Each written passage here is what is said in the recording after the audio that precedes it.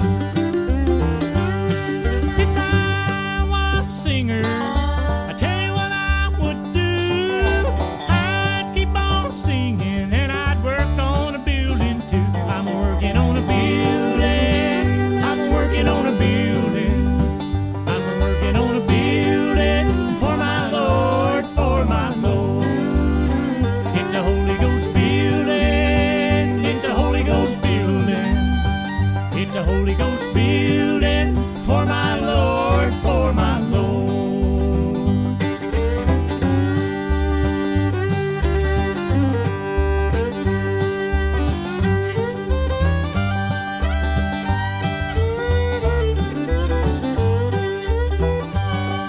If I was a preacher.